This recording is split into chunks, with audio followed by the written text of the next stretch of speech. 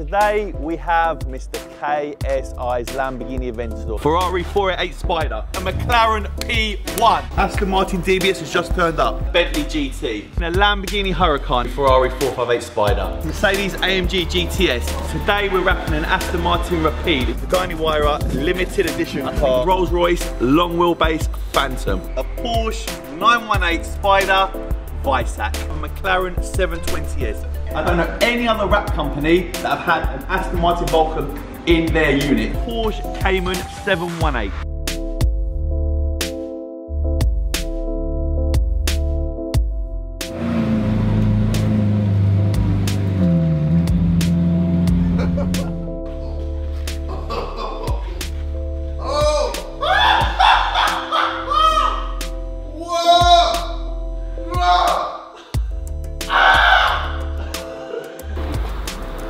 Sit. Yo, I just wanna like lick it. Don't do that. I don't know, it just feels so nice.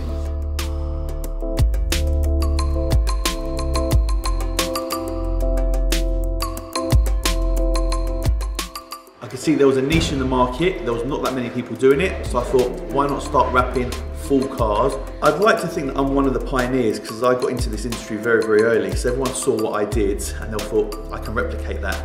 You can replicate a wrapping business. The issue you've got is getting the client base.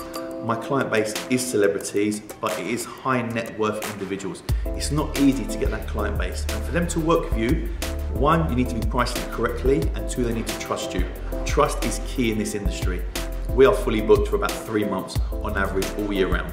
And I've got nearly 20 staff. Celebrity wise, I'll name drop, you've got all of One Direction, including Harry Styles. You've got all of JLS. You've got Rochelle Humes, who is married to, who's married to Marvin.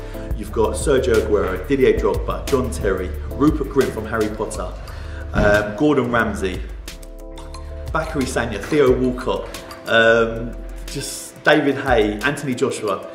I can sit here and name drop all day long. My phone book is a, is a great phone book.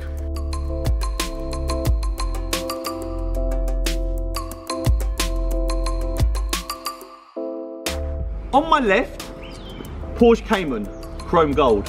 On my right, Range Rover Sport, chrome gold. And obviously behind me is the Bentley GTC. So a customer will turn up with their car. The first thing that needs to happen is the car needs to be cleaned.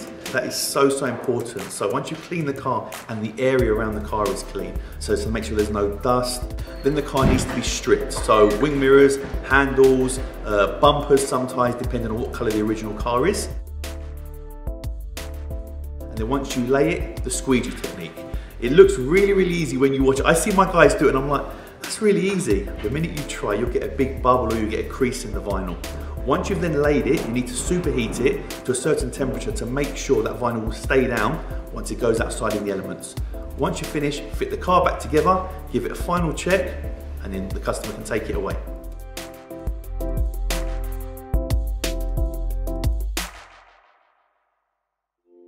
I've got wrappers that have been wrapping six months, I've got wrappers that have been wrapping eight years. It's, it's attention to detail, it's how quick you can pick it up. I've seen wrappers that have been telling me they've wrapped for 10 years, they've come here and the quality is really, really poor. So it's just attention to detail if you've got the patience and if you, you really believe in what you're doing. A normal person trying to wrap a car would struggle. My guys are professionals, they're very, very good at their jobs. People struggle trying to put a screen protector on their phone. These guys are wrapping full cars and these guys are very, very good.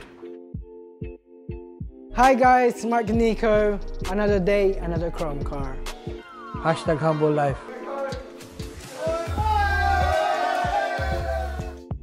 So wrapping actually protects the paintwork from stone chips. If you're driving down the motorway and you get a stone chip, the wrap um, material should actually protect it from the paintwork getting damaged.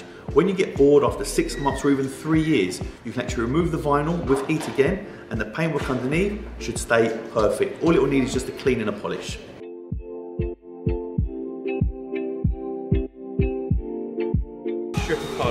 Always ask, what is the paintwork going to be like underneath? As you can see, fresh, like brand new. No issues, very little glue residue. Just needs a good clean once you strip a car. Depending on what car it is, cars can take different amount of times. If you've got a, a, a BMW 3 Series, my guys could probably wrap that in two or three days. Um, if you're going to wrap that in chrome, it might take four to five days. And there's a big price difference between a satin gloss and a matte and a chrome vinyl. A satin car can be anything between £1,500 and about £3,000. A chrome car can be from four or £5,000 up to ten, twelve thousand pounds. So it's expensive chrome, but you get the most wow factor. Rose gold has arrived. This is my signature colour. She's beautiful. We do love a rose gold. My personal cars are wrapped in like a chrome turquoise, so people think, what the hell is that? Some people love it, the majority of people hate it. But for me, I don't care. As long as it stands out and people talk about it, it's doing its job and it's giving great exposure for the company. Yes, I say we do celebrities cars and high net worth individuals. We'll of course do Joe Public as well. We've got 17 year olds that have their first car and they get it wrapped as a, as a birthday present. So it might be like a Vauxhall Corsa. You can wrap a Vauxhall Corsa in like a satin black. And the reason I use satin black is the most popular colour for maybe 1200 pounds, 1400 pounds. That is a Fiat 500 and it is very, very old. So that's the little Tyke Sport Racer. You're wrapping a toilet? Yeah. Wow. Massive social media presence. I've got 1.2 million on YouTube, I've got 1.5 million on Instagram. So TV shows kept approaching us. And then we got offered a show called Yianni Supercar Customizer. We had 20 episodes came out last season. We filmed series two, and that is now out every single Wednesday, 8 o'clock on Dave. Um, you'll see celebrities, someone like David Haye, Lethal B, Aston from JLS. You get to see Rolls Royce, you get to see smart cars, you get to see a, uh, a Porsche 918. You get to see things that go wrong as well. What you see goes on at a garage. So yes, we have a great atmosphere here and a great relationship with all my staff, but when it goes wrong, I lose it a little bit. Just a, just a little bit, but it's real. What you see is real and it's the day-to-day life of Yiannimize.